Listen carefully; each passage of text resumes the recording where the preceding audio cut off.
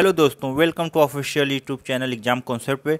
दोस्तों, आज हम जिस राइटर की बायोग्राफी लेके आए हैं, वह writer no doubt romantic age के बहुत ही पॉनियर साबित हुए हैं पीबी सैली जिनका full name Percy Bysshe Shelley है। इन्होंने अपने 29 साल के करियर में ऐसे इंग्लिश लिटरेचर क्षेत्र में ऐसे योगदान दिए जिसे आज भी पढ़ा जा सकता है। आइए दोस्तों, आज इनकी बायोग्राफी पे बात करें, जिसके इंपॉर्टेंट वर्क पे बात करें, इनकी कंप्लीट स्टडी लाइफ स्पेन को देखेंगे, कैसे इन्होंने क्या किया आइए आज का वीडियो शुरू करते हैं। पीबी शैली एक ऐसा नाम जिसको आप लोगों ने रोमांटिक एज में काफ़ी सुना हो, पढ़ा होगा, और जो भी एग्ज़ाम आप देखने जा रहे हैं, चाहे यूजीसी हो, चाहे टीजीटी पीजीटी एनबीएस केबीएस उसमें इनसे रिलेटेड क्वेश्चन पूछे ही जाते हैं। और इन्हीं को लेकर आज डिस्कस करेंगे। पीबी शैली जो थे पैरसी बैसी शैली। चार अगस्त को, यानी फोर अगस्त को जन्म लेते हैं सत्रह सौ बानवे सेवेंटीन नाइन्टी टू में। और इनकी जीवन लाइफ खत्म होती है आठ जुलाई 1822 में। यानी यह अपने 29 साल के लाइफ स्पेन को कैसे स्पेंड करते हैं, इनकी लाइफ में क्या घटनाएँ इंपॉर्टेंट होती हैं, इसी सब चीज़ों पे बात करेंगे।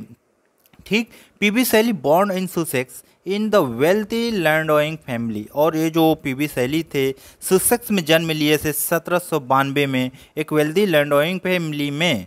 और यह एक सन एम पी थे, ये भी क्वेश्चन पूछा जाता है। और यह eldest of the six children और सबसे एल्डेस्ट से अपने छः बच्चों में, उनके पिता, माँ, जो भी थे छः बच्चों में सबसे एल्डेस्ट थे। Attend to Eton Eton college में उन्होंने अपनी प्रारंभिक जो चीज़ें एडुकेशन उन्होंने ली। उसके बाद इन्हें मैड शैली वहीं से कहा जाने लगा। इन्हें पागल शैली पागल शैली इसलिए क्योंकि लंबे बाल रखे थे, काफ़ी लंबे बालों को थे, और इसकी वजह से इन्हें मैड शैली भी कहते थे पीवी शैली को। बाय हिज क्लासमेट और इनको जो मैड शैली नाम दिया गया था, उनके क्लासमेट के ही द्वारा दिया गया था। अब देखिए एक इंपॉर्टेंट घटना इनकी लाइफ में होती है। उस वो इम्पोर्टेंट घटना क्या होती है? ऑक्सफोर्ड यूनिवर्सिटी में जब वो पढ़ने जाते हैं तो वहाँ पे उनके एक फ्रेंड होते हैं हक इसी के द्वारा हक वहाँ पे दोस्ती हो जाती है इनकी फ्रेंडशिप में। आगे चल के इन्होंने, इन दोनों दोस्तों ने एक 1811 में एक पम्पलेट निकालते हैं पब्लिश पब्लिश करते हैं सर्कुलेटिंग करते हैं pamphlet the necessity of atheism जो नेसेसिटी ऑफ़ एथिज्म है, इन्होंने पम्पलेट रिलीजन को लेकर इन्होंने कुछ ऐसे कंट्रोवर्शियल कर दिए थे, जिसके लेके इन्हें वहाँ से कॉलेज से निकाल दिया जाता है। नेथिसिटी ऑफ़ एथिज्म इसको याद कर लीजिए, काफ़ी बार एग्ज़ाम में पूछा जा चुका है। 1811 में इसको पब्लिश कराते हैं और सर्कुलेट अपने में ही जैसे पम्पलेट को इन्होंने छापते हैं और अपने ही कुछ दोस्तों में या कॉलेज की दीवारों पर चिपकाते हैं। जिसके बाद इन्हें क्या किया जाता है? कॉलेज से निकाल दिया जाता है। अब देखिए अब इसके बाद क्या होता है? उनकी लाइफ जब कॉलेज से निकाल दिया जाता है, उसके बाद यह क्या करते हैं? पर पी बी शैली अठारह में लाइफ में निकलने के बाद elope with sixteen year old Harriet Westbrook और 16 साल की हैरियट वेस्ट ब्रुक के साथ वह क्या करते हैं? इलोप कर जाते हैं, भाग जाते हैं। और वहाँ 1811 में वह हैरियट हैरियट वेस्ट ब्रुक के साथ भागने के बाद अठारह बारह में जाते हैं आयरलैंड में। और वहाँ पे क्या करते हैं? जस्टिस ऑफ़ पुअर, वहाँ पे कैथोलिक चर्च में अपना एक रूप से वहाँ पे रुक जाते हैं अपने जीवन यापन करने के लिए। अब देखिए, आगे उन्होंने क्या किया है कि राइट्स क्वीन मोब, वो आगे चल के वह क्वीन मोब को लिखते हैं, मीट्स विलियम गॉडविन। और विलियम गॉडविन से आगे चल के वह मिलते हैं। और विलियम गॉडविन से मिलने के बाद वह उनकी बहन जो रहती है विलियम गॉडविन की, उनकी बहन के साथ इलोप कर जाते हैं। हालाँकि वह एक शादी कर चुके रहते हैं। फ़र्स्ट मैट, फ़र्स्ट उनका मैरिज हो चुका रहता है, उससे एक बच्ची रहती है और एक उनकी वाइफ प्रेग्नेंट रहती है। उसी दौरान वह क्या करते हैं, अठारह चौदह में जब विलियम गॉडविन से मिलते हैं क्वीन मोब को लेके वहाँ लिखने के दौरान, और उसी दौरान वो उनकी बहन से उनको फ़र्स्ट लव अटेंड हो जाता है, जिसका नाम मेरी गॉडविन हो जाता है, और वह भाग जाते हैं वहाँ से, ठीक? एंड उसकी एक डॉटर रहती है वालिस्टन क्राफ्ट जो होती है, उनकी डॉटर रहती है उन्हीं के साथ। राइटर राइटर्स लेस्टर, वहाँ पे वो राइट्स करते हैं। लेस्टर अठारह सोलह में वह जाते हैं, जिनेवा सर्किल विद बैरन वहाँ पे मिलते हैं, बैरन से। अब देखिए, अब प्रोमिथियस अनबाउंड की वहाँ शुरुआत हो जाती है। जो प्रोमिथियस बाउंड अनबाउंड उनका काफ़ी इंपॉर्टेंट वर्क है, वहाँ पे वह शुरू कर देते हैं। और उनकी जो वाइफ रहती है, मैरी गॉडविन, वहीं उसी समय लिखती हैं एक इम्पोर्टेंट वर्क। फ्रेंकिस्टाइन। फ्रेंकिस्टाइन जो होती है, वहीं पे लिखती है, वहीं पे मैरी। और उनकी जो पहली वाइफ रहती है, हैरियट, वह वहाँ अपने डूब के क्या करती है? सुसाइड कर लेती है। इस चीज़ों को देख के काफ़ी लाइफ के उतार चढ़ाव से परेशान हो गए कि भाई, इनके वो चीज़ें हैं। अब इसमें देखिए, हैरियट यहाँ सुसाइड कर लेती है। अब उसके बाद उनकी जो दोस्ती होती है, friendship with Leigh Hunt Leigh Hunt से फ्रेंडशिप कर लेते हैं और ले हंट जो होते हैं, एडिटर होते हैं, द एग्जामिनर।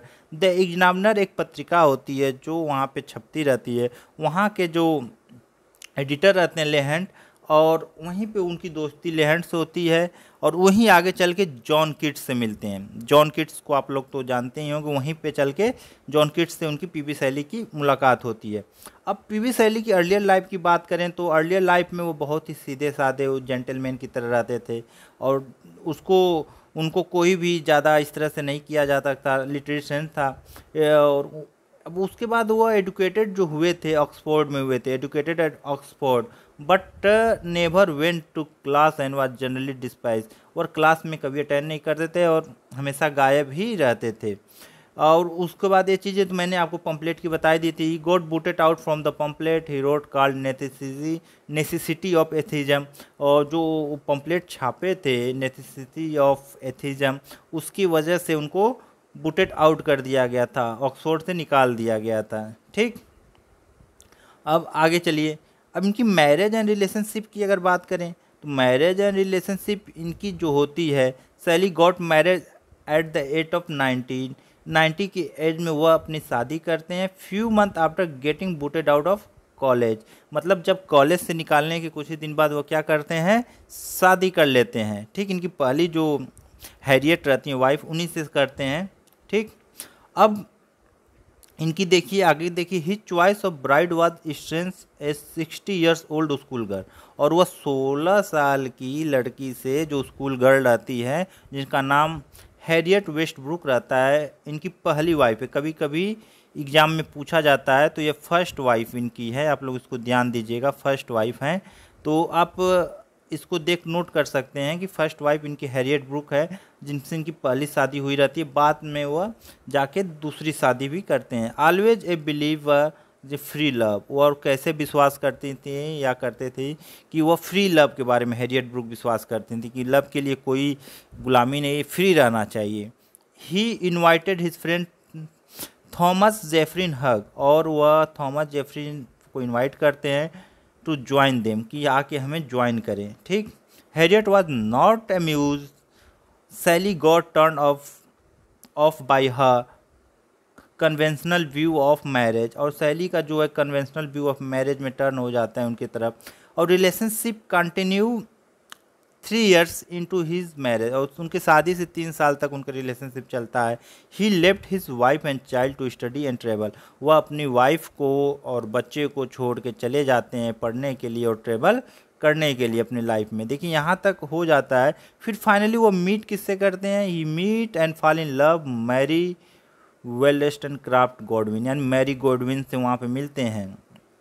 ठीक the daughter of intellectual William Godwin और जो डॉटर रहती हैं विलियम गॉडविन के, उनकी डॉटर रहती हैं, उनकी लड़की मैरी गॉडविन से मिलते हैं, उनको प्यार हो जाता है। एंड द ओरिजिनल फेमिनिस्ट और वह ओरिजिनल फेमिनिस्ट थे मैरी हॉल स्टोन क्राफ्ट के जो ओरिजिनल फेमिनिस्ट थे, उनसे वो मिलते हैं। सैली अबांडेंट हैरियट और हैरियट को त्याग देते हैं and took off to continue with Mary और मैरी अब क्या करते हैं हैरियट को त्याग के अपने जीवन किसके साथ कंटिन्यू करते हैं? मैरी गॉडविन के साथ। And her step sister Claire Claire Clairmont both of whom it is not were more into his free love policy than his wife. देखिए, यहीं भी फ्री लव की ये बात करते हैं मैरी गॉडविन। ठीक, यहाँ पे इसको देख लीजिएगा।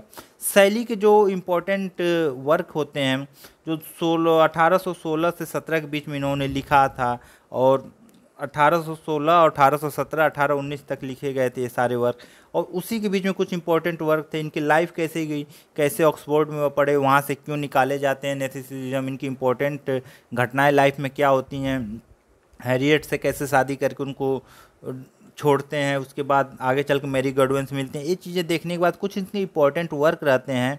अब इंपॉर्टेंट वर्क में वर्क में अगर हम बात करें तो hymn of hymn to intellectual beauty इनकी काफ़ी अच्छी है। उसके बाद दूसरे बात करें माउंट ब्लैक इनकी काफ़ी फ़ेमस वर्क आगे आती है। अठारह में लिखते हैं कंप्लीट कंप्लीट कंप्लीट लिखते हुए लिखते हैं प्रोमेथियस अनबाउंड जो इनकी काफ़ी फ़ेमस एक वर्क है प्रोमेथियस अनबाउंड इनको लेके काफ़ी ग्लोरी प्राप्त कर चुके थे उस समय पोइटिक के फ़ील्ड में। और इनका एक जो ड्रामा रहता है सेंसी एग्ज़ाम में पूछा भी जाता है, जो इनका एक सेंसी प्ले है इसको लेके कि पी बी सैलिन कौन सा प्ले लिखा हुआ है, या सेंसी है जो इन्होंने प्ले लिखे हैं।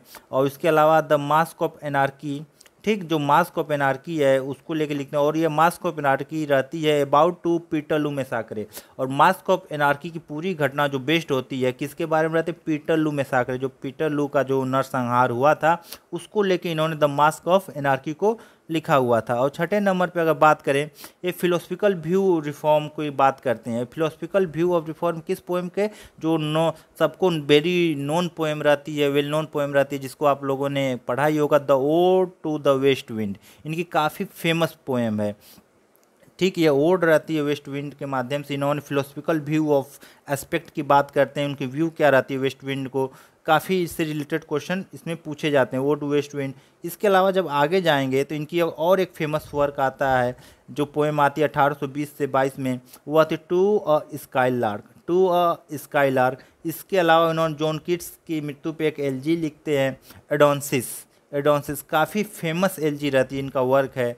इसको आप लोग ज़रूर एक बार देखिएगा एडोंसिस और इस पर मैं वीडियो भी बना दूँगा, अगर कमेंट बॉक्स में कमेंट करिए। डोंसिस की पूरी, मैं एक एल के लेके पोएम की पूरी एक वीडियो लेके आने वाला हूँ।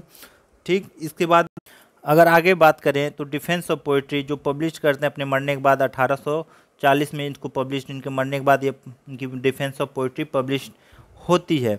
अगर दसवें नंबर बात करें तो काफ़ी इंपॉर्टेंट वर्क है इनका। द ट्रम्फ ऑफ़ लाइफ जो 1822 में होता है, इसके बाद ही यूर डॉन एट सी इटली की जब यात्रा करते रहते हैं उनतीस साल के एज में at the age of twenty nine वह वहीं पे लेबरनो के पास वह वहीं उनका सिप डूब जाता है और वहीं पे या डूब के शिप के साथ ही इनकी जीवनचर्या समाप्त हो जाती है। ठीक, ये एक छोटा सा प्रयास था मेरा पी वी शैली की लाइफ स्पेन को आपको समझाने का। आप एक बार इसको पूरी वीडियो को दोबारा देखिए। अब यह वीडियो आपको कैसे लगी? अगर इंटरेस्टिंग लगी तो इस राइटर की बायोग्राफी पे हमारी और भी सीरीज़ आने वाली है, जिससे आप हमारे चैनल से जुड़ सकते हैं। ओके थैंक यू मिलते हैं नेक्स्ट वीडियो में।